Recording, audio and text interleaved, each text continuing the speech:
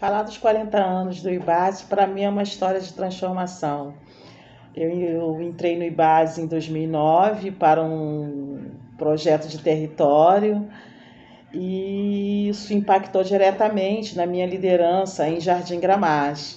Então, assim, além dele ter, do IBASE ter essa noção de quem tem fome tem pressa, também transformam pessoas em seus territórios.